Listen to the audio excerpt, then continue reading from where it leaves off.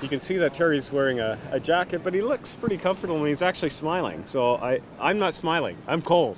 So I think it was a pretty uh, a warmer day for Terry at that time. But 35 years ago, uh, Terry started the Marathon of Hope on April 12th, and we I think we all know that he started in St. John's Harbor. What we don't know is where Terry retrieved the bottle of Atlantic Ocean water that he kept in the van, and the plan was to take it across with him uh, to BC. And when he finished the Marathon of Hope, he was going to dump that water in the Pacific Ocean.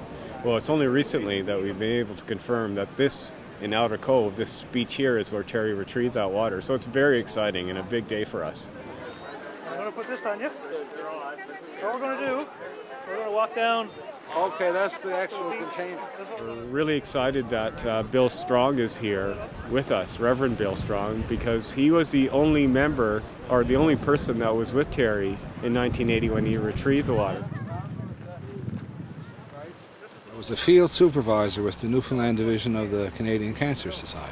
And this is where we came to uh, fill uh, bottles of uh, salt water that their plan was to bring them to the Pacific.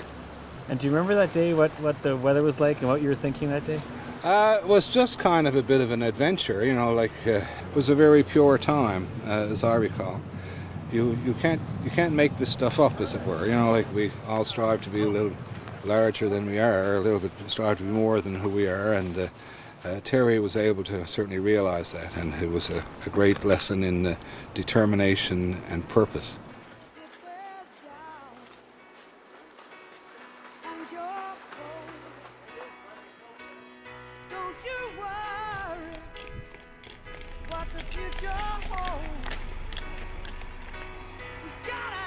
What do you think of Terry Fox? Well, I think he helped the people with cancer by running halfway across the world to get, support cancer.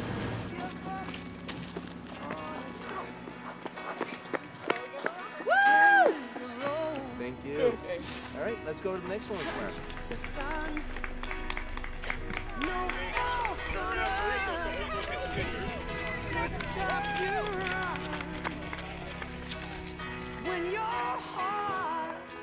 Hi.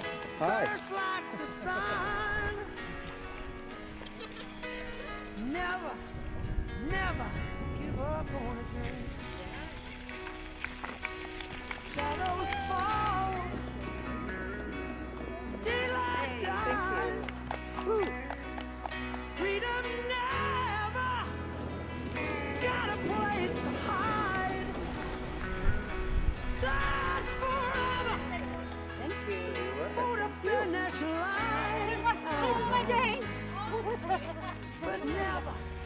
Give up on your dream.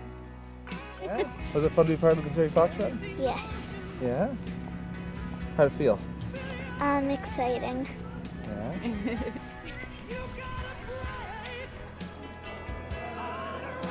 There were 35 participants. They were all in T-shirts that represented 35 years that the Terry Fox Run has happened. So each shirt was a different design on it, and uh, the idea being that we're 35 years out.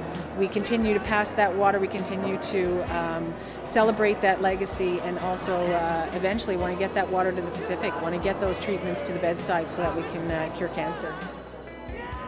When you hear people talk about a Canadian hero, well, he embodies that. And as I said, as a person of national historic significance, he's always going to be treated as such and, and commemorated as such through Parks Canada.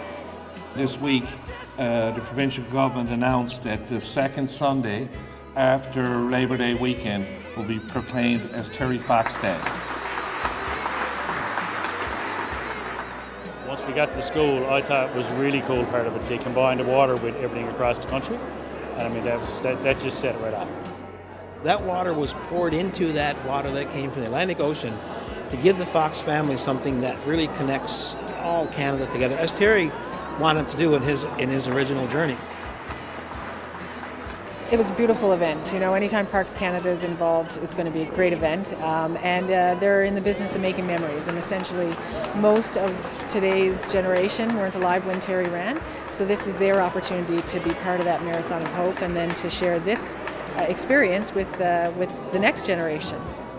What I hope for in the future is that people continue fulfilling Terry's dream and that someday, with the donations to the Terry Fox Foundation, they'll find a cure for cancer. Thank you. The first words he wrote in his journal were, This is where it all begins. And today was that day. We appreciate the fact that so many people came out and wanted to be a part of this. I think there's there's more stories to be told in relation to Terry Fox, and Parks Canada will certainly be a part of helping tell that story in the future.